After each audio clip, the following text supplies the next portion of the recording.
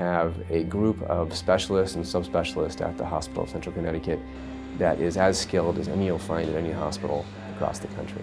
We're able to perform minimally invasive procedures to treat patients who have kidney cancers. We can treat bladder cancers by removing bladders and creating new bladders for patients. We can also treat prostate cancer at the Hospital of Central Connecticut. We're able to accomplish amazing complex surgeries right in your backyard with some of the best specialists you're going to find anywhere.